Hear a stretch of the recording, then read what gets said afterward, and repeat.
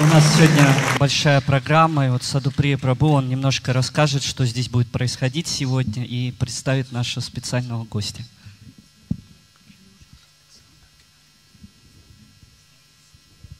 Харе Кришна.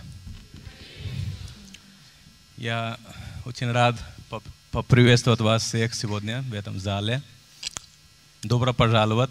Я знаю, что многие первые, первые пришли в этот центр –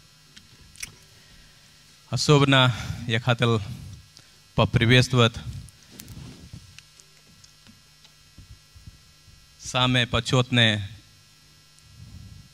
человек, который сегодня первый посетил этот центр. Это Александр Геннадьевич Хакимов, Чайтан Чандр Чаран Прабhu. Поэтому давайте его поприветствуем. И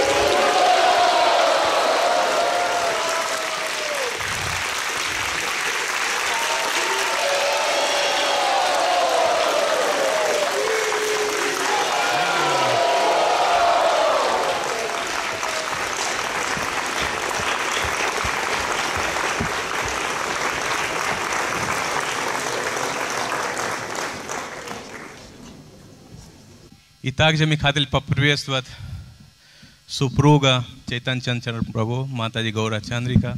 Тоже попросим, пожалуйста, давайте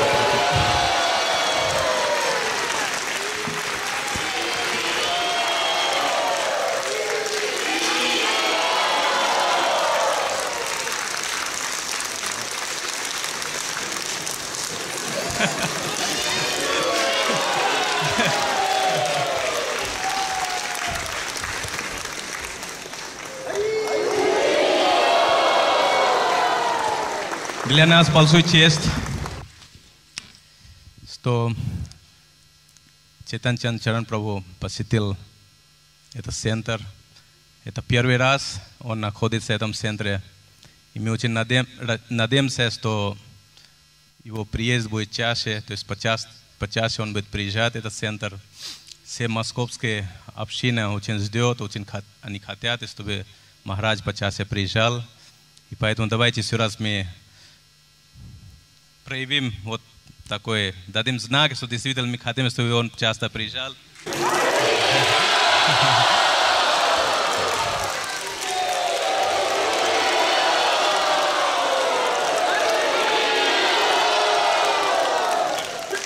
Я хотел представить Александра Геннадьевича Хакима для тех, кто первый раз пришли сюда. Александр Геннадьевич является психолог, философ, художник, путешественник. И он ездит по всей СНГ и за его предел и распространяет ведические знания.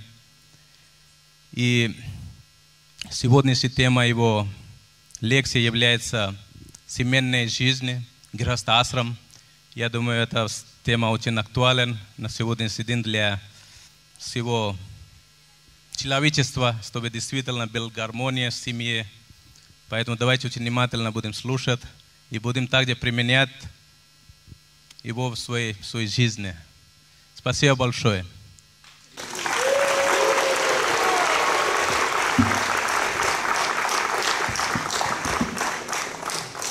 То есть сегодня впервые, поднимите руки, пожалуйста, я посмотрю. Первый раз. О.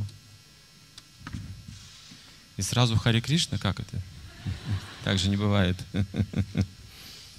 Слишком резкий контраст культур. Знаете, в 80-х, 90-х это тоже удивляло, но люди понимали. Понимали, потому что был кризис какой-то, и поиски, и крайности. Ну и не только Хари Кришна было, всякое было. Вплоть до рэкета и бандитизма, неожиданностей много было. Поэтому как-то мы еще вписывались в ту культуру. Так, крайности были. Понятно почему. Перестройка, все просто вверх дном. Наше коммунистическое представление вдруг это разрушилось, знаете, почва из-под ног ушла, и вот это можно было понять людей. На нас смотрели с состраданием, с сожалением люди такие разумные, как бы думали, ну вот, они уже с ума сходят, потому что несчастны, вот, не знают, что делать, поиски. Но хотя интересно, у них ведическая философия, вот, это интересно. Мы даже готовы помогать вам в чем-то. Что, ну, как бы доброе начинание. А сейчас, сейчас э, мы должны увидеть одну вещь, что сознание Кришны, так как это называл Шила Прабхупада, или как в Бхагавадгите сознание Васудевы, то есть много терминов есть, чтобы обозначить этот, это сознание, а, оно на самом деле естественное, органичное. Если вы посмотрите на одежду, то удивитесь, несомненно. Но если заглянете в сердце, вы увидите, что это то, что мы ищем. Я как раз об этом немножко скажу. Вот сначала мы попоем чуть-чуть, настроимся на лекцию. Меня просили говорить о грехах с хашами. Это больная тема в мире, серьезная тема. В кризисе Европа, в кризисе западная часть как бы, планеты кризис испытывает. В России тоже мы видим серьезный кризис в семейной жизни. 70% разводов – из 100% зарегистрированных браков. Я слышал статистику, 600 тысяч а, браков ежегодно распадаются. Примерно так. 600 тысяч браков распадаются ежегодно. Очень, очень подавляющее количество сейчас семей терпит крах. Это очень больно. Вы же знаете, да, что такое семейная жизнь, когда вы чувствуете привязанность сердечную, когда вы рассчитываете прожить всю жизнь, вы доверяете, вы имеете надежду на счастливое будущее, и вдруг вот такой результат, страшный, травма, развод, он может сопровождаться ненавистью, проклятиями или изменами. Ну, страшная эта картина. Как говорится в Ведах, развод затрагивает все сферы жизни человека. Все, во всех сферах приводит беспокойство и страдания, он пронизывает. Поэтому в ведических книгах, в любых священных писаниях вы найдете, что разводов быть не должно. То есть ведические писания или священные книги, они оберегают нас от страданий, чтобы не увеличивались наши страдания, свести их к минимуму. И в конечном итоге цель духовной практики вообще освободиться от всяких страданий, которые порождены материальным существованием, привязанностями ложными, ложным чувством, ложным чувством собственности. Это все в ведах подробно описывается. Не беспокойтесь, что это санскритская терминология. Это хорошо, потому что эм, благодаря санскриту знание хранится. Это хорошо, что есть оригинальные тексты, сохранились классические веды. Это замечательно. Их нужно изучать, исследовать и применять, несомненно. Это знание, оно поможет. И если Россия, если Россия не, не встанет на духовный путь, то, вот лично мое мнение, миру больше никто не поможет. Ну вот Индия есть еще. Но Индия, она более стабильна, чем Россия страна. Она не склонна к революциям, как Россия. Россия, она еще и революционер. Если мы приняли духовную культуру, то плюс еще наш революционный дух. И таким образом можно что-то изменить в жизни. Вот. Поэтому мое мнение, что если Россия не встанет на духовный путь серьезно, миру вряд ли кто-то поможет. Однополые браки сейчас уже узаконены. Вы знаете, что это такое. Это конец цивилизации. Именно так обозначается. Если эти вещи становятся законом жизни, то это конец цивилизации. У него нет будущего, у нее нет будущего этой цивилизации. Но Россия, она против. Недавно мне, буквально сегодня прислали статью, ссылку на статью в э, интернете, где одна женщина преподает в школе. И там девочки у нее лет 12-10, вот такой вот возраст, такой как раз ответственный. Она заметила, что одна девочка по-другому одевается, она более скромная, у нее по-другому пошита одежда, она не ходит на общие встречи, вечеринки. И она заинтересовалась, что там в семье, почему отец не пускает ее, как сказали некоторые другие в школе, что он деспот. Но оказывается, человек просто очень боялся, чтобы дочь не попала под дурное влияние, и прививал ей почти практически ведическую культуру, чтобы женщина была скромной, трудолюбивой, вот, обладала такими внутренними качествами. Там целая статья, потому что это вызвало цел, целый, целый фурор в школе вообще вызвало это поведение девочки. Просто скромная, вот обычная, которая должен иметь человек эти качества. В школе это был взрыв просто. Обвиняли отца, обвиняли семью, что это какой-то сектант, не сектант, но, но там статья позитивная. В результате она собрала многих э, родителей, поговорила, и они пришли к выводу, что, собственно говоря, это хорошая культура, это правильная культура. Вот эти интересные вещи происходят в России сейчас. То есть пересматривается заново, вот эта новая русская культура уже пересматривается. Она просуществовала всего лишь ну, несколько десятков лет. Пару десятков лет, чуть больше.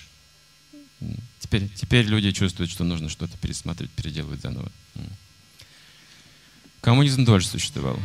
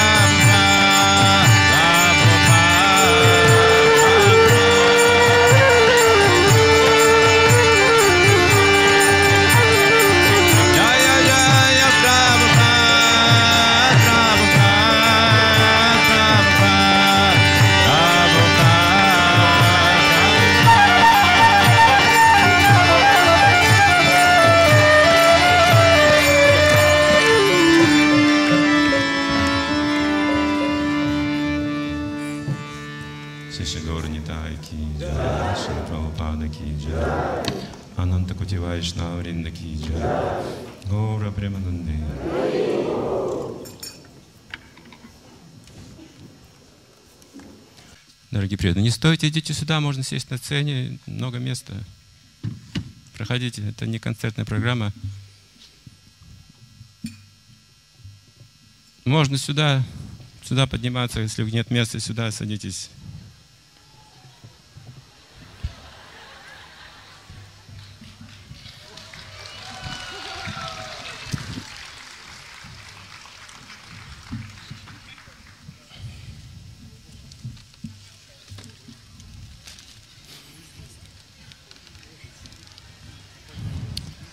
Особенность этих залов в том, что вы практически ничего не слышите, звуков из зала не, не доносится до вас со сцены.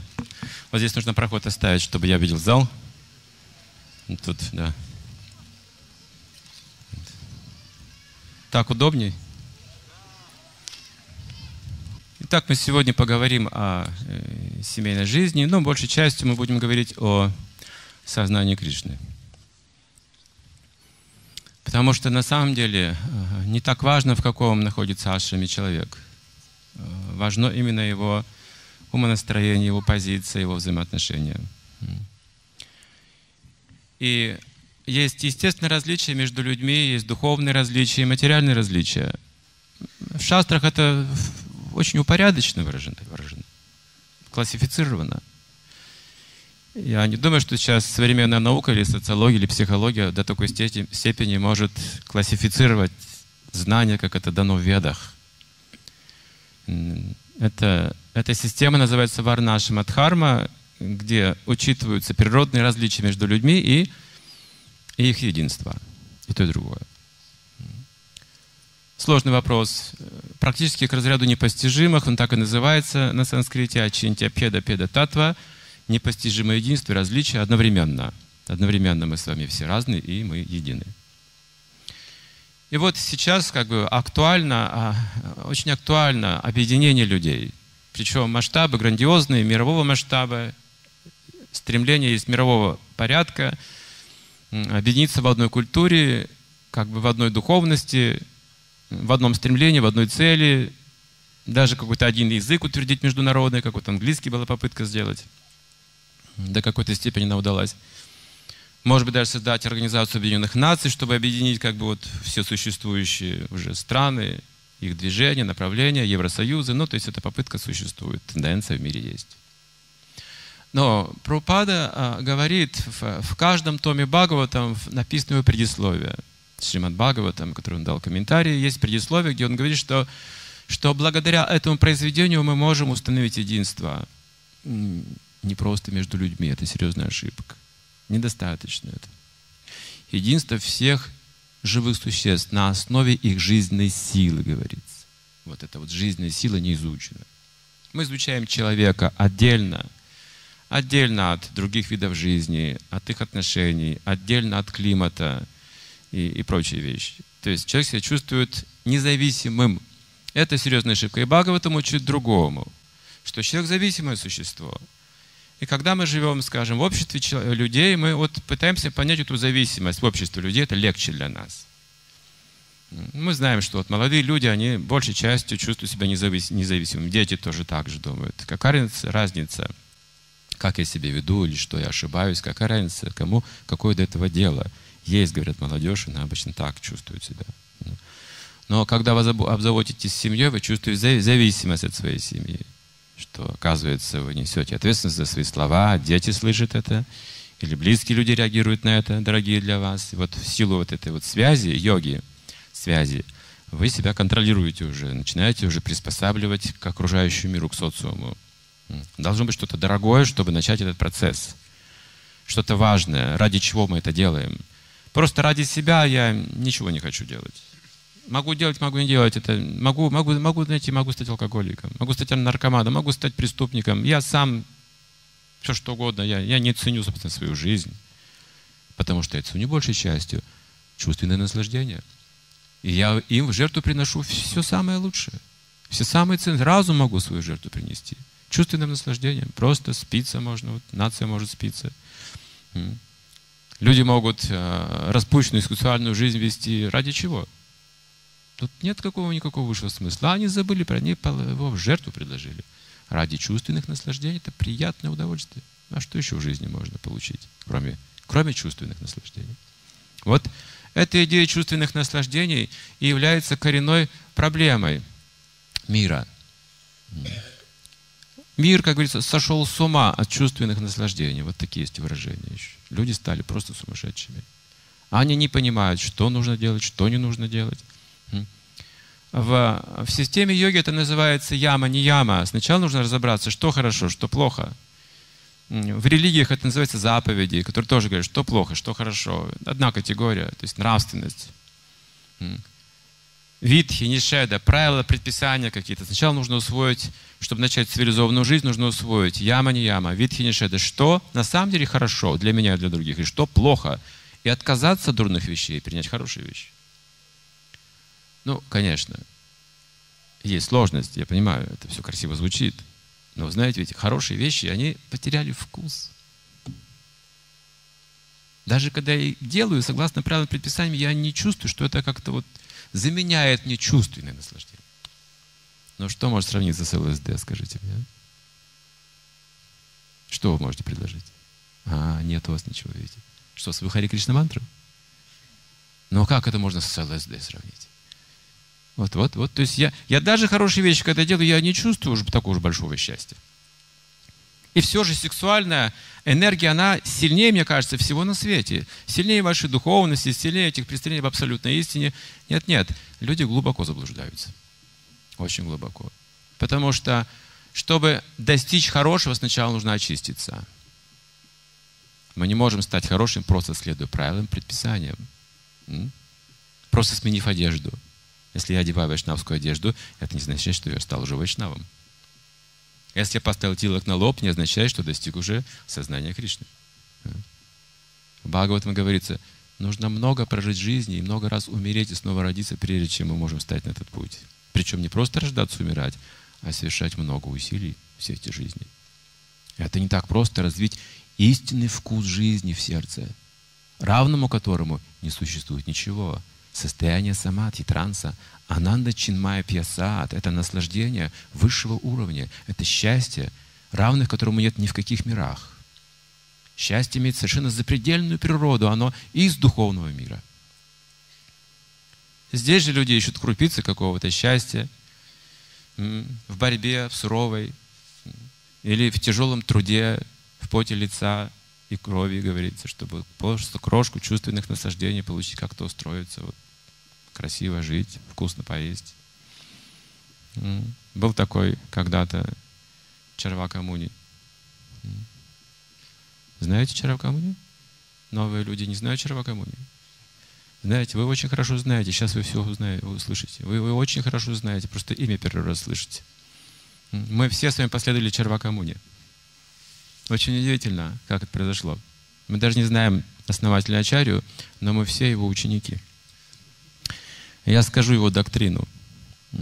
Очень простая и очень привлекательная, всем понравится. Но преданные отвергают ее. Он собирал людей больше, чем эти залы.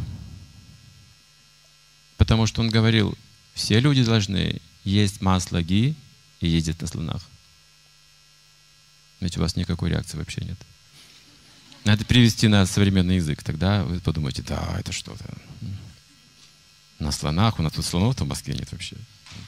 Что за экзотика такая? И масло ги это что? Мы его в жизни никогда не видели. Ну, масло из нефти сейчас гонят. Масло ги это, это самый сатвичный чистый продукт. Тут куда его не добавите, будет вкусно. Это очищенное топленое масло. Это редкость. в деревнях, может быть, еще и делают, я не знаю. Может быть, даже уже не везде это делают. Даже в Индии трудно найти масло ги настоящее. Оно дорогостоящее. Если вы зажигаете из него светильник, он, от него даже дыма нет. Считается очень чистый продукт, чистейший. То есть благодаря этому маслу можно совершать специальные ягии. В огонь предлагают именно очищенное топленое масло. Сейчас его очень трудно добывать. И вот он говорит, люди должны есть масло ги. Вот вы рис приготовили обычный, добавили масло ги, это деликатес.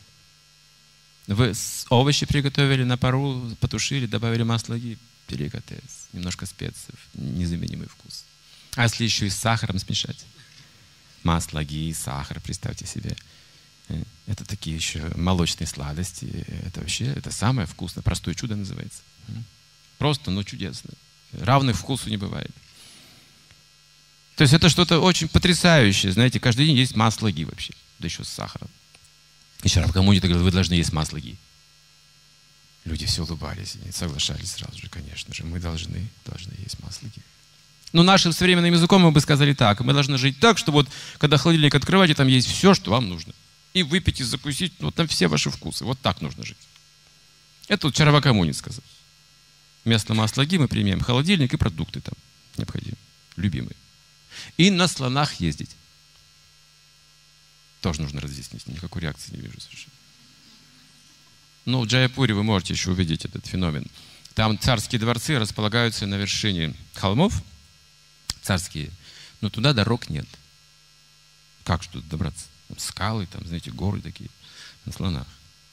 Слон идет по бездорожью, как плывет облако. Знаете, вы не чувствуете вот это. Лучше, чем Мерседес, я вас уверяю. Это просто как аэроплан, знаете, такой вот. Просто взлетает туда слон на гору. По бездорожью идет. Как, знаете, как по маслу. По маслу ги. И вот все люди должны есть масло ги и ездить на слонах. Мы бы сказали, ну, ездить на Мерседес Прада. Есть такой Мерседес Прада? Нет, это джип Прада, да? Тойота, Тойота, я извиняюсь, я в марках не очень ориентируюсь. Э, ну, какая самая крутая машина сейчас?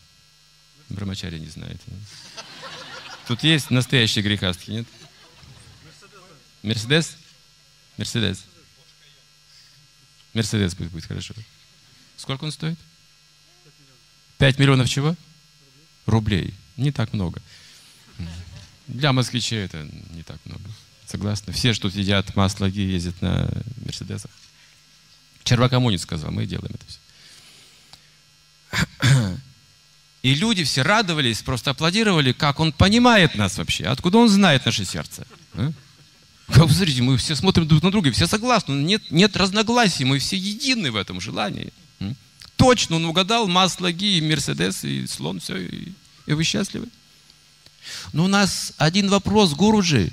Одна проблема. Какая, спросил Шивакамуни. У нас нет масла ги. И слонов тоже нет. Значит, слона содержать дорогостоящее удовольствие. Он очень дорогой вид транспорта. Он за день съедает 40 килограммов пищи. Знаете, сколько нужно кормить его, работать. Хм. Маловерный, говорил Червакамуни. Боже мой, у вас веры, ну, ну нет вообще, и на грамм даже не хватает. Вы ничего не поняли, слушая меня. Ничего не поняли. Не в этом дело, что у вас этого нет. А дело в том, что это должно быть любой ценой. Потому что смысл жизни именно в наслаждении. Один раз живем. Вы не должны думать, что у вас чего-то нет. Вы должны добыть. Но у нас нет денег, чтобы приобрести все это. Глупцы. Но настоящие глупцы. Но нет денег, выпросите. Пойдите на любые уловки, выпросите. Придумайте что-то, солгите. Главное получить деньги. Либо займите и не отдайте. Ну нет потом и все. Либо украдите, но без свидетелей. Потому что главное есть масло ги и ездить на слонах. Вы понимаете, в чем смысл, суть жизни? Все остальное предрассудки, которые вам мешают есть масло ги ездить на слонах. А? Нет денег, выклинчите. Можно занять, не отдать, можно своровать, ну, только смотрите, чтобы не было свидетелей. А, Гуруджи, но это может быть, но только еще одно сомнение. Но мы слышали из ведических книг, что последствия будут такой деятельности. Если начнем воровать и начнем так поступать, то карма. Факт. В следующей жизни же придут реакции потом. Вот какие глупые последователи, а? О чем вы думаете? Посмотрите сюда. Вот, вот крематорий. Вот что будет с вашим телом. Вот во что он превратится. Какие свидетели, какая карма после. Один раз живем. А? После меня хоть потоп, хоть трава не расти. Главное масло ги и слоны. И вправду, что это мы все в голову вбили, все эти ведические проблемы? Реинкарнация, карма. Ведь точно смысл-то жизни – наслаждаться. Люди последовали Чарвакамуни. Материально-техническая база – вот что важно, важнее всего на свете. Поэтому предлагается жертву все. Но Пропада привел очень, очень хороший, простой пример. Он сказал, представьте, что у вас есть машина, вот это самый Мерседес, и масло, чтобы смазывать эту машину, и тряпки, чтобы протирать эту машину, и горючее, чтобы заправлять эту машину, и запчасти, чтобы менять детали в этой машине. Машина олицетворяет тело, а я хозяин, душа. И вы так заботитесь о машине каждый день, что сами забываете поесть. Вы так увлечены этим, что сами вы забываете поесть. Настанет день, когда у вас не будет сил даже протереть свою машину. Она придет в упадок. У вас не будет больше сил. Согласны с этим? Почему Чарвакамуни не говорил об этом? Все успешные материалисты приходят к этой черте, когда они не знают, зачем жить вообще со всем этим вместе взятым. Что делать дальше, я не знаю. Бессмыслица какая-то. Человек без смысла жизни не живет. Это самоубийца потенциальный. Атмаха на санскрите называется. Если не дать ему смысл жизни, он не живет полноценным образом. Он превращается в животное. Он специально одурманивает свое сознание, он принимает какую-то пищу, он принимает какое-то общение, чтобы забыть обо всяком смысле жизни, чтобы не задуматься, потому что у вас будет кризис, если вы задумаетесь, что вы живете бессмысленно, может быть проблемы. Это уже проблемы начались. Это уже проблемы. Это в голове так происходит, когда вы думаете, и ответа не находите о смысле жизни. Вот, вот такие вот, вот такие штучки. Кто-то нам жучок вставил, должны думать, понимаете? И вот такие вот последствия. Я не нахожу ответов, понимаете? Я не знаю, не знаю, зачем, зачем, зачем все это.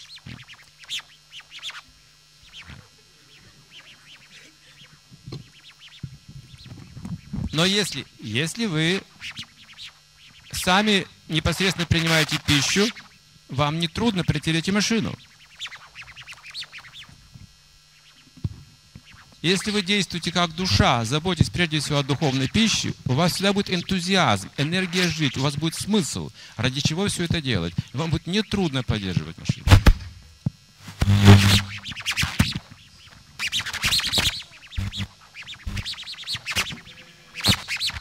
Микрофон забунтовался.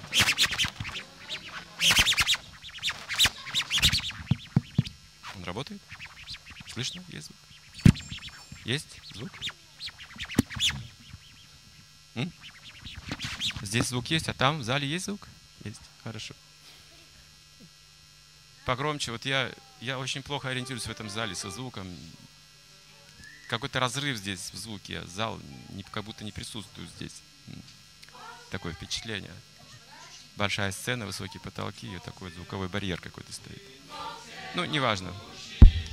Мы продолжаем говорить. Звук погромче сделайте микрофон. Итак, итак, духовная пища, духовная раз, пища. Раз. Как называется? М? Попробуем еще раз. Еще раз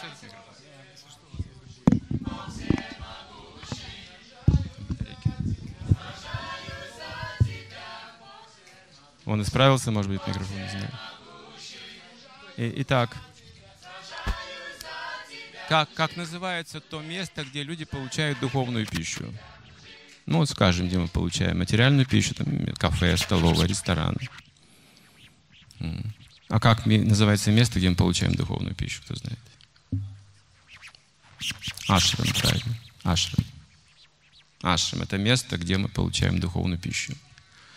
Любое место, где мы совершаем духовную практику, называется ашрам. Это место, которое регулируют нашу деятельность, регулируют нашу жизнь. Как, например, вы ходите на работу каждый день, и там есть специальный порядок, есть иерархия, которой мы подчиняемся, есть вот эти регуляции. Это называется варна. Варна. Варна означает профессия, работа. Она организована. Есть ашрам, он тоже организован. К сожалению, в современном мире люди думают, что работа должна быть организована, а семья нет. Я просто живу там, как хочу.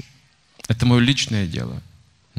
Нет, нет, нет, нет. Вот это серьезное заблуждение. Вот это вот понимание собственной независимости, отделенности от полного целого. Человек не должен жить независимо от социума людей, от других семей, от времени, которое сейчас Кали-юга, мы должны учитывать время, должны учитывать деятельность других людей, свою карму, гуны материальной природы. Мы должны учитывать, что есть душа, есть душа. То есть у нас есть обязанности дома и на работе. Это называется семейная жизнь. Если семейная жизнь не имеет никаких обязанностей, или люди хотят освободиться от обязанностей, это не ашрам. Это называется место зависти и чувственных наслаждений. Мы, то есть, ограждаем свою квартиру, свой дом, называется дурга, крепость. Для чего? Чтобы заниматься там чувственными наслаждениями. И иногда подсматриваем, что там делают другие. Ну, культурным образом, через телевизор. Вот так, может быть, не культурно в окно подсматривать, но в телевизоре можно найти в интернете все, что угодно. Можно посмотреть любую, любую часть жизни, часть человека, подсмотреть через видеокамеру, это оплачивается, распространяется. Это называется глаза зависти. Я наблюдаю, кто еще как наслаждается, какие еще чувства наслаждения есть там, там, в той стране, как это делают люди там, и как это животные делают, как они едят, как они спят, как совокупляются, как обороняются, а как люди это делают. И все. В этих четырех сферах протекает жизнь человека просто в семье, когда он чувствует смысл жизни в чувственных наслаждениях. Он это осознает. Бессмыслица. Он считает, что не нужно задумываться слишком глубоко о каких-то смыслах жизни. Это, это причинит тебе кризис какой-то. Ты начнешь сомневаться в том, что ты делаешь. Неуверенность почувствуешь. Более того, даже можешь испугаться – знаете, когда, когда мы обсуждаем вот эти ведические темы космологии или реинкарнации, или как душа трансмигрирует из жизни в жизнь, что она вечно это делает, и когда люди это слушают, час, может быть, в лекции, с некоторыми становится плохо. Страх сильный приходит, когда они начинают ощущать эту реальность, вот настоящую космическую реальность, вот эту свою душу, что на самом деле такое маленькое временное прибежище – на несколько лет в этой жизни, мы меняем это тело, чтобы снова сменить положение, и так это продолжается. Мы не имеем здесь прибежища никакого. Потому что нам хочется вечного прибежища, нам хочется, чтобы моя, моя семья была постоянной, вечной, моя, моя стабильная заработная плата и так далее, ничего не менялось в жизни. Дети всегда были со мной и прочее, но все имеет другие законы. То есть, либо мы сразу это получаем в процессе знания, эту реальность, либо в процессе опыта, продолжительного опыта, но получаем то же самое, то же самое знание. Человек живет очень коротко, немного. Несколько десятков лет означает, что не может получить опыт жизни, например, Вселенной. Он даже не может понять, что происходит на этой планете толком. Да он вообще ничего не знает, когда рождается. Он не знает, он понятия не имеет, кто он, зачем родился и что он должен делать. Ему говорят старшие, сейчас играй, потом будешь учиться, сейчас пора заканчивать школу, сейчас нужно подумать о работе, потом будет семья. Он все это получает знания. А старшие откуда взяли это знание? Услышали о других старших. Никто ничего не знает. А люди не знают, что это за жизнь. Жизнь Вселенной описывается как День Брамы, там, космический размер времени, юги описываются, эпохи, планетные системы, процесс творения, все это грандиозно. С нашей точки зрения непостижимо, неизмеримо вообще. И как только мы в этом задумываемся, у нас начинаются сложности. Как с таким знанием жить вообще? Тогда зачем добывать деньги, зачем семья? Тогда в чем же смысл всего этого нужно найти? Оказывается, человек может познать полное целое – согласно своему ашраму и варне, профессии и духовному укладу. Духовных укладов бывает четыре. Период ученичества, период семейной жизни, период отречения, отшельничества и период отречения. Это духовные уклады жизни. По степени знания и отречения. Жизнь начинается с получения знания в Брамачаре Ашраме. Брамачарю, значит, любит правду, любит истину. Это ребенок. Ребенок любит правду. Если ему скажете, иди сюда, я тебе сейчас скажу правду, он заинтересуется сразу, что за правда. А это правда, он скажет, это чистая правда. Они любят в правду, правду получать. Вот, честное слово, честное слово, правда, правда. Они любят учиться, постигать какую-то истину, какую-то правду. Это брамачари. Это первый этап. Они любознательные, им интересно получать что-то новое, они интересуются, спрашивают. А затем этот период не пройдет. Пройдет это любопытство, естественно, и будет смениться на практическое любопытство. Как комбинировать материальные элементы, как что-то создавать из них новое, материалы какие-то вот ученые выдумали. Самолеты, а, а, самолетостроение, если взять, они долго искали подходящий материал. Вот этот дюралюминий, сейчас и делают самолет, он легкий и прочный, очень долгое время искали вот этот материал. Это делают уже взрослые люди. Они создают таблицу Менделеева и комбинируют при помощи химии, закона физики, что-то новое создают. Это уже другой возраст. Другой период жизни. Практичность называется. А Брамачари означает, вы с ним говорите об абсолютной истине, о Боге, о душе, о космосе. То есть это юношеское, юношеский полет как бы. разума, сердца, это мечты, это большая какая-то любовь, великие цели. Вот с этого начинается жизнь человека. То есть с самого начала ребенка направляют на великие дела, настраивают взрослые люди. Это называется обучение. На великие дела. А затем учат быть практичным, помня, зачем он это делает. Великие дела. Нужно достичь чего-то великого, большого.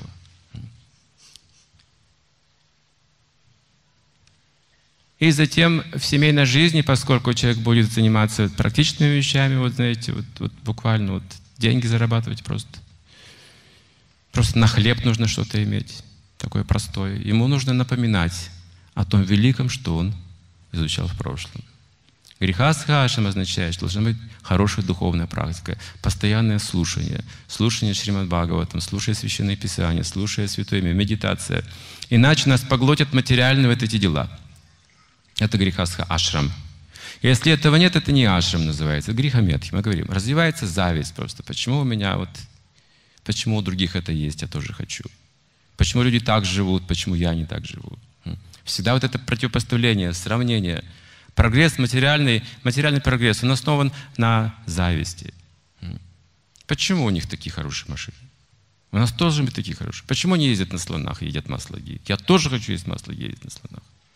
Как только мы увидим у соседа э, нашего хорошую машину, у нас начинается материальный прогресс. Мы тоже начинаем действовать в этом направлении. Вот это материальное существование. Но Веда объясняет, что это искусственно создано, потому что прежде всего человек должен позаботиться о том, чтобы его душа и ум были удовлетворены. Он должен быть удовлетворен, научиться быть доволен тем, что имеет сначала. Прежде чем будет развивать что-то, сначала освободиться от зависти нужно.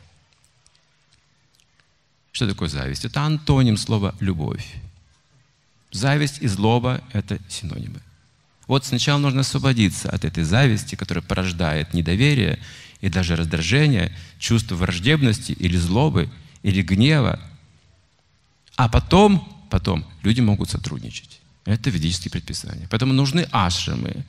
Каждый уклад жизни, он духовен должен быть. Каждый этап жизни духовен.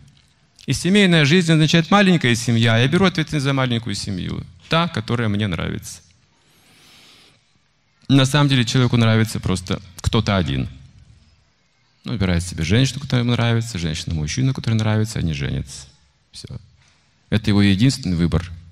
Все остальное он выбирает, нравится или не нравится, его никто не спрашивает. Дети рождаются уж какие есть. Вы тут не выбираете, не так ли? Они вырастают, у них свои представления, свои характеры. Вы должны принимать их такими, как они есть. Ваша любовь становится другой. Вы должны принимать этого ребенка. И он приведет потом еще друзей в дом. Они, может быть, вам совсем не подходят. Но вы принимаете друзья вашего ребенка. А потом ваш сын приведет невесту в дом. А вы такую невесту себе вообще не выбирали для него никак. Или ваша дочь приведет жениха, о котором вы не мечтали никогда в жизни. И вы это принимаете, и вы потом уже принимаете все без выбора. Один только выбор в жизни есть, выбрать мужа или жену, и все. А дальше жизнь просто дает, ты вы должны, должны это принимать. И если это я делаю для чувственных наслаждений, я буду все время недоволен, понимаете? Вот не такие дети, вот не такие друзья, вот муж не такой стал. Но если это ашрам, то это второстепенно, какие они. Важно, что они духовные. И у нас одна цель. Мы едины в цели. То есть семейная жизнь, она крепка тогда, когда есть духовный смысл жизни. Освященный брак называется. Если он не освящен, значит, он основан на сексуальных желаниях. Хорошо. Но это сексуальное желание постепенно, оно присытится. Что с этим делать? Отношения ослабевают, интересы ослабевают естественным образом. Нет, по привычке вы живете даже в семье и поддерживаете все, поскольку это ваша привычка, ваш долг, ваша привязанность. Но, но вы уже смотрите на кого-то еще. Вот почему браки распадаются. Так, так много. На кого-то смотрят еще. Они пытаются менять партнеров, думая, вот есть лучший человек. С этим человеком уже скучно, понимаете? Он неинтересный. Это раньше он какой-то был интересный, а потом он испортился со временем. А теперь я нашел вот другого человека, или я нашла другого человека. С ним так интересно, так вдохновляюще, совсем все по-другому. Настоящая жизнь, понимаете?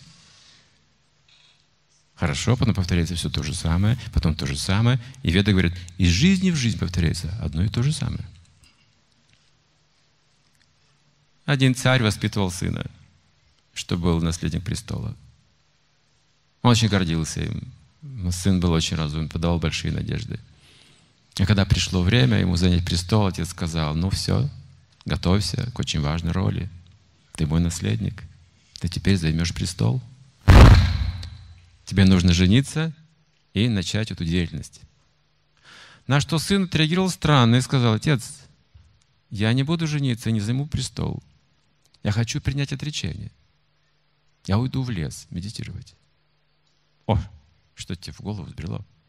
Ты просто что-то там пообщался с кем-то или что-то услышал, возможно. Нет, нет, дорогой, это придет время, ты еще молод. Это потом. Сейчас должен жениться и вот много трудиться, у тебя будут обязанности, у тебя будет власть, у тебя будут деньги, у тебя будет положение. Давай используй, наслаждайся жизнью.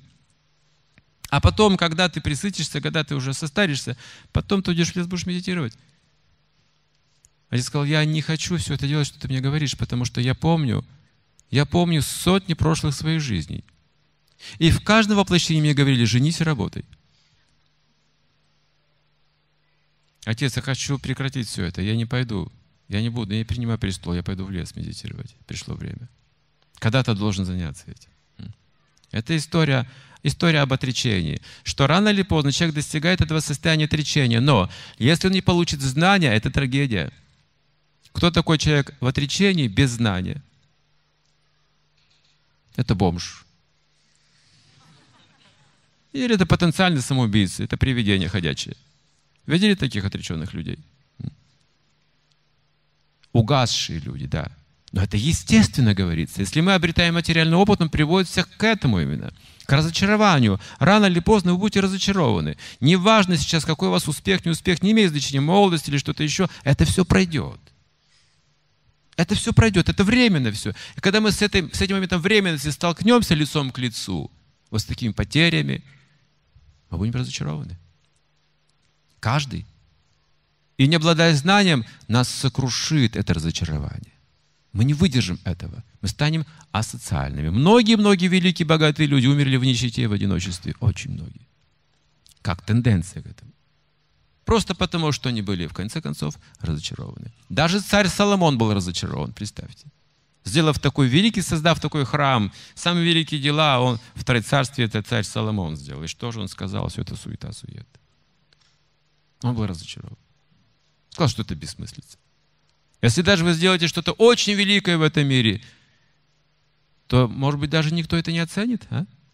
Если вы такой великий, то, может быть, даже это никто не увидит и не заметит. А? Об этом он и говорил. Он смотрел на своих потомков, на своих сыновей и думал, они, похоже, даже не понимают, что я сделал. Они при моей жизни хотят просто разорвать это царство на части, на куски для себя. Они даже не понимают, что я сделал и ради чего я жил. Все это суета, суета, он сказал. Вот уж какой парадокс, смотрите, какая ловушка. Вы хотите делать хорошие вещи, вы делаете сверххорошие вещи, а никто даже не понимает, что это хорошо. Вы превзошли, превзошли возможности людей. Соломон был таким. Например, вы распространяете сознание Кришны. Многие люди могут не понимать, что в этом хорошего вообще. Суета-сует, мы думаем, ну, кому это нужно, правда же? Нет, не совсем так. Дело в том, что эти вещи требуют некого знания, подготовки. Опыт человек должен получить еще в юности, когда обучается. Опыт духовного самоосознания. Вот сейчас таких школ пока еще нет, таких институтов пока, где обучают духовной науке именно. А в семейной жизни он это воплощает. Вот какая вещь. Там нет никакой бессмыслицы, потому что мы живем в маленькой семье, чтобы познать большую семью. Есть маленькая семья, есть большая семья. Семья Бога существует, а чью-то Готра существует. Это великая семейная жизнь. Есть такая, знаете, вот замкнутая семейная жизнь, ограниченная семейная жизнь, говорит, дурга, такая крепость строится, где мы просто закрываемся для чувственных наслаждений, чтобы не было свидетелей, как говорил э, Чарва Коммуни где у нас есть масло ги, есть транспорт свой, вита, апта, гриха, сута, говорят веды. Четыре вещи интересуют семейного человека. Дом, гриха, Апта, вита – это деньги, деловые бумаги, сута, да, транспорт, сута, сыновья, деньги или деловые бумаги, транспорт, сыновья, дом, все. Все вокруг этого. К этому сводится вся семейная деятельность. То есть, говоря грубым языком, грехаски только об этом и думают. Где взять деньги, где взять деньги, где взять деньги, где... сколько там денег, сколько там денег, сколько там денег, какой там курс доллара сейчас. Сколько стоит, сколько стоит, где взять деньги, где взять деньги. Птицы щебечут, чирик, чирик, чирик, чирик. О чем мне говорят? О том же самом, только по-другому. Тоже грех, апта, сута, вида, тоже самое. Да, Пропада однажды сидели под деревом с учениками, он говорит, и «Э, там птицы щебечут. Пропада спрашивает, о чем говорят эти птицы? Ученики смутились, мы не понимаем, Пропада. А вы говорит, послушайте, это же очень простой язык. Все слушают внимательно. Нет, Пропада, ну ни слова непонятно. Ну, очень просто. Говорит, они говорят, где секс, где еда, где спать, с кем общаться. Это их, это их настроение. Собаки скулят и лают и визжат это о том же самом. Кошки мяукают и или мурлыкают о том же самом. Язык у всех одинаковый, видите? Потребности те же самые. Все живут одними, одни потребностями тела. Тело – это еда, сон, совокупление, оборона. Это биологическая основа. И если кроме этого ничего нет, то жизнь будет пуста внутри. Человек это способен осознать. Он предназначен для самоосознания. И зачем же нам сознавать эту пустую, несчастную жизнь? Без развлечения она пуста и непривлекательна. Если нет телевизора, если нет интернета, если нет сотового телефона, если нет еще каких-то атрибутов, она пуста. Понимаете, я страдаю на самом деле в жизни. Вот она, реальность вашего. Реальность – это страдание тогда. Если мы себя ограничиваем от чувственных наслаждений, то тогда мы страдаем. А? Вот к этой реальности вы нас призываете? Нет, настоящая реальность – это иллюзия страдания. Иллюзия, когда мы сосредоточены на себе и замкнуты, и тогда мы не можем жить в этом большом мире Бога, и поэтому мы страдаем. Мы отделены, оторваны от Него, изолированы. Это самоизоляция называется. Это как быть в одиночной камере. Но Семейная жизнь обучает людей общаться широко, открывать свои двери, приглашать гостей. Это совсем, совсем другая пхава и настроение. Как один ученик спросил про упаду, Прабхупада, скажите, какие главные, главные какие вот правила для, семей, для счастливой семейной жизни? А мы же все хотим знать об этом. Что же такое настоящая счастливая семейная жизнь? Он спросил об этом Прабхупаду. И Прабхупада сказал ему – Всякий раз, когда ты собираешься поесть, пообедать, ты выходи на улицу и громко зови в дом гостей, голодных. Грехаса должен громко сказать, кто-то голоден, заходи, обед готов. Не один раз нужно сказать. Потому что один раз, когда скажете, люди откажутся. Нет, нет, мы не голодны. Нет, нет. Должны второй раз сказать, пожалуйста, я приглашаю, все готово. Если кто-то хочет есть, заходи, будь гостем, дорогим. И третий раз еще нужно более убедительно сказать, ну, от всей души, не обижайтесь, заходите. И кто-то обязательно придет к вам, не так ли? Вот так, вот так греха сказать живет слово проповеди. Все. Человек подумал, ученик, никак не мог понять, как это применить к европейской, американской жизни.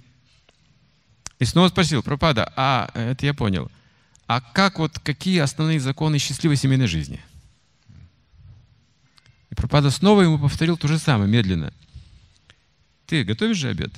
Ну вот, а прежде чем поесть, выходишь на улицу. И громко, три раза вот так руки рупором складываешь, и микрофон устанавливаешь, хороший только, не квакающий, и говоришь, кто голоден, заходи, пища готова. Трижды должен пригласить от сердца. И когда ты покормил гостей, доедаешь все сам потом, все твое. Ученик снова подумал, ну, Пропада что-то говорит из какой-то другой культуры. Он, видимо, не жил в Америке. Пропада. А вот для семейной жизни самой, это я понимаю, что нужно гостей угощать, а для, для семейной жизни какие есть правила предписания счастья? По третий раз он говорит, когда ты вот готовишь и приготовил обед, выходишь на улицу и громко объявляешь всем, кто голоден, заходи. Больше ничего не сказал. Другого правила нет. Так что раз в неделю семейный человек должен приглашать гостей, говорится, минимально готовить пир на свои деньги, не собирать пожертвования. На свои заработанные деньги он для этого работает именно. Если мы говорим о поддержании тела, это одна сторона. А где же развитие? А развитие в том, что приглашает гостей и кормит их чистой священной пищей. И вот это развитие взаимоотношений. Это социальные отношения. Это наша большая семья. То есть главная наша обязанность ходить по гостям друг к другу и съедать то, что там дают. Все. Правда, мы вегетарианцы, поэтому мы не можем везде ходить повсюду. Мы ходим к преданным, где есть освященная пища именно. И мы другим говорим, что нужно готовить именно чистую священную пищу, потому что когда вы едите чистую священную пищу вместе с кем-то, у вас появляется духовная связь, йога, родство. Йога приема пищи. С одной стороны, вы сами наполняетесь сознанием Кришны, с другой стороны, когда это вместе делаете, у вас появляется общий вкус. Что такое семья? Это общий вкус. Что такое муж и жена? Это общий вкус, общая любовь. На вкусе основывается эта культура. Здесь же вкус духовный вкладывается. А это означает, что любой человек может стать вашим, членом вашей семьи. Мы все телесно разные, а духовно мы все качественно одинаковые. И когда мы постигаем эту сторону духовных отношений, мир становится нашей семьей. Любой, кто приходит к нам в дом, принимает освященную пищу, становится нашим другом. Если вы даже собаку накормите вкусной пищей, она станет вашим другом. Не говоря уже о человеке, если вы это с любовью сделаете, как он это осознает глубоко, как он оценит это все. Гостеприимство, любовь, уважение, вкусную пищу. С любовью человек это оценит на всю жизнь. Кем бы вы ни были, если вы проявите любовь как, как хозяин дома гостям, они это всегда оценивают. И они потом подражают этому, говорят, теперь ты к мне в гости приходи, я это еще лучше сделаю для тебя. Начинается соревнование любовное, смотрите. Как это возможно, скажем, если вы приглашаете человека выпить водки? Соревнование быстро заканчивается. Это нельзя бесконечно развивать эти отношения, потому что это, это яд. Это отравы для души и для ума. И просто вы гибнете, вы исчезаете просто, ваше сознание разрушается, ваши качества разрушаются. В кого вы превращаетесь? Но здесь соревнование другое, здесь соревнование духовное, оно безграничное.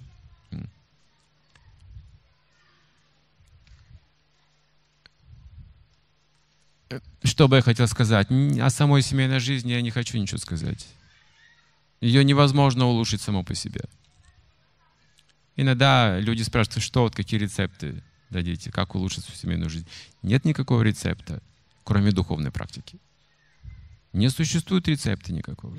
Это невозможно. Более того, век Кали говорится, что семейная жизнь она проклята, и очень трудно. Очень трудно поддерживать семью в век Кали. Если вот даже у вас два, два просто, просто два ребенка, это очень трудно. Один ребенок вы еще справляете. Но два ребенка это уже трудно. Вы, вы, вы на износ работаете. Трое, четверо – тяжело. Крайне тяжело семейным людям. И они становятся бессердечными. Вот в чем проблема. Вот что Пропад сказал. Они думают, что их семейные дела важнее по поддержанию семьи, чем распространять духовные знания повсюду. Это бессердечный человек, и вот он, он страдает, становится бессердечным, а, отделенным от общества, борящимся в одиночку, каждый сам за себя. Представьте, какая жалкая картина семейных отношений. А ведь все очень просто. Мы все живем в одной большой семье. Это же очень просто. Если не иметь это сознание отделения, эгоизма, вот это чувство собственности, просто начинается с гостей, это простое начало, просто приглашаете, вы кормите освященной пищей, вы общаетесь, сокровенным образом общаетесь. У вас появляются настоящие друзья, которые понимают вас. На духовной основе мы всегда поймем друг друга. В семье то же самое. Мужчина и женщина никогда не поймут друг друга, пока не поймут, что они есть душа. Духовное сознание прежде всего должно быть. Что мужчина и женщина – это разная физиология, разная психология, разное физическое предназначение, материнство и отцовство. Они, они как люди с разных планет, говорит Грей. Мужчина с Марса, женщина с Венеры. Так он написал книгу под таким названием. Никогда не поймут друг друга. Один великий философ-проповедник сказал, что женщину не нужно понимать вообще мужчине, ее нужно просто любить. Да, ну а как любить всю жизнь эту женщину, он не сказал. Без Бога, без удухотворения, без освященного брака это невозможно. Например, пища тоже надоедает. Вы едите одно и то же, там в ресторанах, в столовых, не знаю, редко там что-то такое, привыкаете, но автоматически это хот-дог. Автоматически это. Но просад никогда вы не едите автоматически. Вы всегда испытываете счастье. Освященная пища никогда не, не приедается. Согласны? У нас воскресные пиры регулярно. Кому не надоели? Те же, те же гулабджимуны, та же халава, те же сабжи, тот же рис. Каждое воскресенье в полном экстазе, в полном счастье. Когда-то я стоял у одного кафе, где-то около часа, наверное, я ждал машину. В ожидании, при, при, пригородное кафе. И мне пришлось обращать, обратить внимание, что люди заезжают туда с дороги поесть. Я бросил взгляд, машина остановилась, вышли люди из машины, злые, очень голодные. Ну, знаете, голодный человек злой немножко такой, раздраженный, удовлетворенный такой. Я подождал полчаса, и они вышли из кафе такие же злые, неудовлетворенные. Я очень удивился. Потом вспомнил, а, это же не просад, это же обычное кафе. Оно не приносит счастья им пищи. Только вкус. Если там чуть что-то недосолено, чуть-чуть не так, они уже раздражены, крайне раздражены люди. Но просад, даже если не соленый, удовлетворяет душу. Преданные раньше готовили, у них, ну, у нас в кулинарии такой не было изысканной, иногда просто одну гречку без соли приготовим на, на, на намахату. Денег не было, или мало ли что еще, или вообще ничего не было. И гречку на воде, без соли, без масла. Это был просад. Я только, знаете, я мечтаю снова о таком просаде, который вот раньше Кришна нам посылал в тех условиях. В тех условиях все, все было просто нектаром. Это удивительно. Просто картошку отвариваете, и такой просад. Удивительно. И сейчас, когда у нас уже много условий, требуется, конечно, уже другая культура, другой подход к этому, высокий, более высокий стандарт, чтобы ощутить вот этот просад именно. Но тогда было столько милости, что у нас не было, не было возможности. То есть в семейной жизни нужно научиться служить Кришне от всей души, от всего сердца. Кришна говорит, патрам пушпам, палам, тоям, Юме бхактя, парая, чхати, то есть цветок, листок, плод, немного воды, с любовью и преданностью я это принимаю.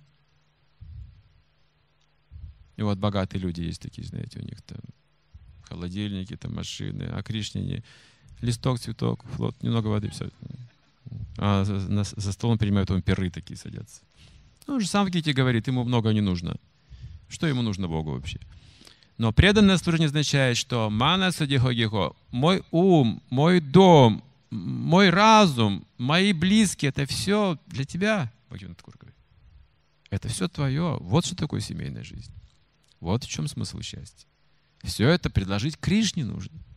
Кришне, все привлекающему Господу сердце, источнику счастья, расы, любви, премы. Он единственный объект поклонения для всех живых существ, говорится – единственный. Но многие люди хотят стать Богом, не хотят служить Богу, но хотят стать Богом, хотят стать такими все привлекающими, чтобы их уважали, чтобы на них смотрели красивыми, хотят сами стать Кришной. Но в этом причина несчастья. Мужчины и женщины не должны подражать Богу. Нет. Они должны честной семейной жизнью. Перед Богом честный. Освященный брак должен быть. И пока мы не поймем родство душ, нам очень трудно будет понять, что такое семья. Лишь на какое-то время они встречаются, потом чувствуют раздражение, не знают. Просто не знают, ну как жить дальше счастливо. Так сложно. Каждый день сложности какие-то. Потому что нет Кришны. Поэтому в каком бы ашраме мы ни находились, в семейной жизни, или мы обучаемся, или мы отходим от дел, ближе к Кришне становимся, или мы полностью отрекаемся от всего уже в старости и предаемся Богу на сто процентов в центре Кришны от начала до конца. В этом суть единства людей. Это и есть тот самый центр всех жизненных энергий. Бог — источник всего. Это высшая, высшая сила духовная, высшая жизненная сила. И мы его частички. Мы пытаемся это познать в этих ашрамах, в этой семье. Это семейные люди должны иметь миссию. Нельзя просто бездумно работать всю жизнь, забыв о главном. В этом назначение как бы а, учение, учение Шила Прабхупады, что каждый человек, он должен быть слугой Кришны. У нас а, время на вопросы. Пять минут. Многие из нас приходят в искон уже в возрасте. 25-30 лет. Да, большой возраст. Уже нет времени ни на брамачари, ашрам. У незамужних девушек остается не так много времени, чтобы пройти грехастха ашрам. Какие шансы успеть обрести знания и пройти все ашрамы и сосредоточиться на приобретении знания? А, вопрос неправильно поставлен. Как одно другому мешает, непонятно. Как мешает греха с хашем получению знания? Кто мешает? Кроме телевизора никто не мешает. Никто не мешает. Вы сам хозяин в своем доме. Можете рано лечь, рано встать, заняться медитацией. Вы можете изучать книги Прупады, приглашать к себе гостей. У вас есть все стопроцентные возможности для служения Богу сейчас. Сейчас, в это время в Москве 100, 108% есть у каждого. О чем же вы спрашиваете? Что вы имеете в виду? Почему вы думаете, что это не сочетается?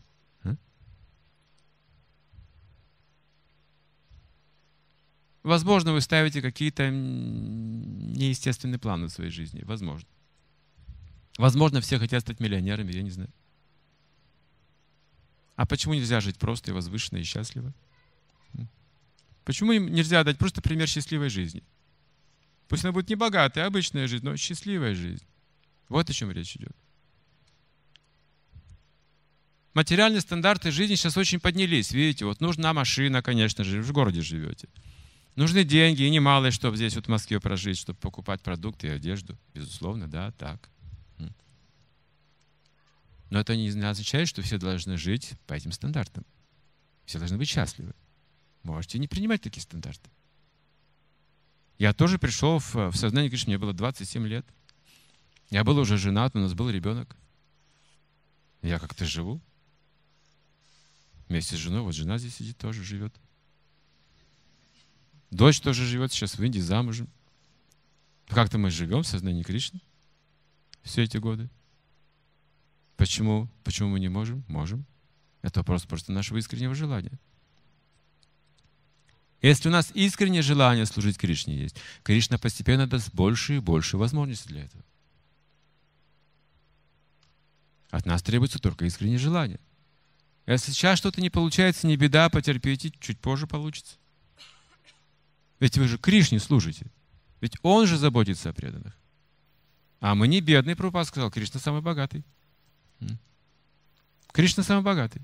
Как вы можете быть бедными? Искон бедная организация, если мы в таких залах сидим, программ проводим.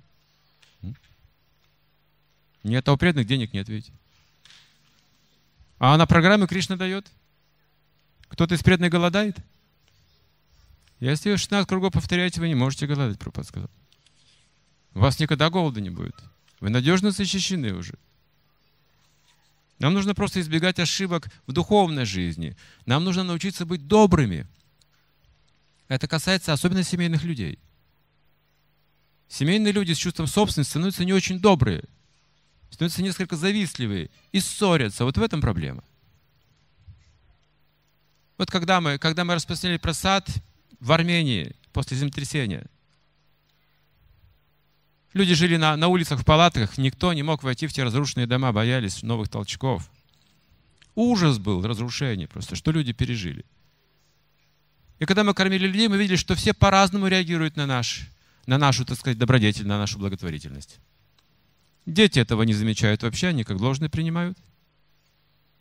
Юноши принимают, но не с такой благодарностью, но что можно было обойтись и без этого мы и сами могли бы выжить. Они самоуверены, этот возраст. Взрослые говорят, вы могли бы все лучше делать, вы обязаны, вы занимаетесь благотворительностью, вы могли бы еще лучше все организовать. Но старики, которые пережили в этой жизни многое, и они мудрее, они понимают, что это не организация. Это не просто какая-то благотворительность. Это чье-то сострадание, чья-то доброта. Они говорят, вам, дай Бог, здоровья. Господь с вами, благословляем вас, вот то, что вы делаете. Только, только старые опытные люди могли сказать, отреагировать адекватно на то, что делают люди. Понимаете, семейная жизнь, она может нас сделать бесчувственными. Мы ждем еще, говорим, все должны, должны. Никто ничего не должен. Мы должны служить Кришне. Вот мы забыли об этом. Права, права, мои права. А где твои обязанности? Ты забыл главные свои обязанности. Саната Надхарму забыл. М? О каких ты еще правах говоришь? Если не выполнение никаких, никаких обязанностей серьезных, то, то людей не остается прав. Мать обязана кормить своего ребенка, а ребенок не должен говорить, что это мои права, давай мне пищу. Обязанности нужно понять свои. Семейные люди не должны быть бессердечными, они должны, должны распространять духовные знания. Иначе мы не сможем выбраться этой западни. Каждый в одиночку будет сражаться. Это невозможно. В одиночку все, все погибнут. Майя, иллюзорная энергия. Как вы справитесь с ней в одиночку? Но вместе мы очень сильны.